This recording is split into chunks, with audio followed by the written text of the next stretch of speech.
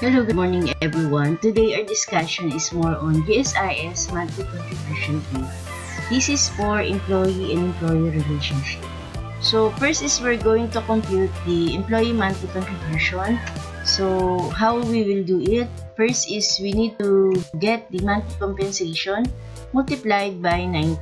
So 9% is part of um, GSIS contribution of the employee.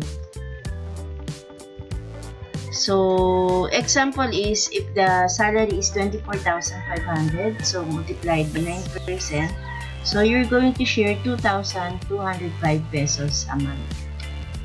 For the employer monthly contribution, you need to compute the monthly compensation of the employee multiplied by 12%. So, this 12% is part of share of the employer to your benefits.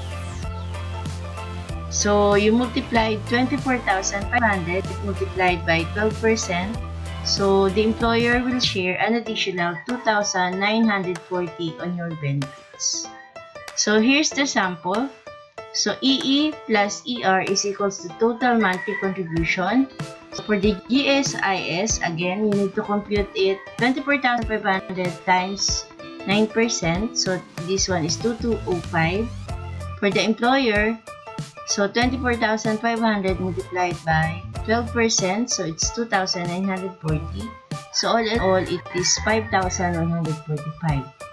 So aside from your GSIS contribution, you're also going to share your PhilHealth contribution, uh, which is amounted to 428.75. So how will I do that?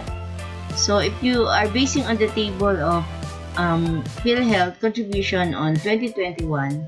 So, you need to share a total of 3.5% to the government. So, meaning to say, 3.5% divided by 2, it's 1.75 share of employee and another 1.75 for the employer.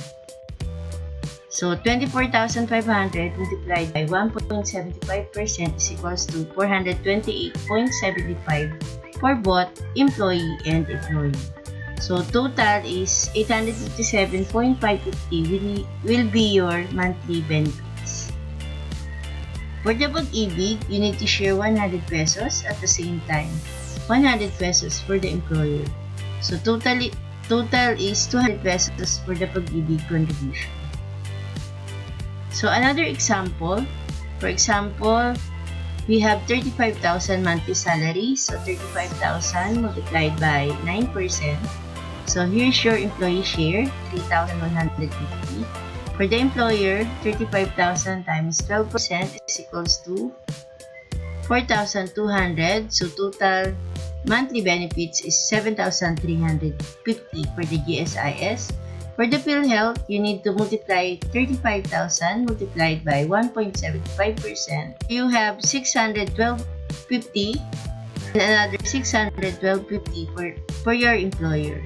So total is 1,225 pesos share. For the pag-ibig, you are going to share 100 pesos both for employee and employer.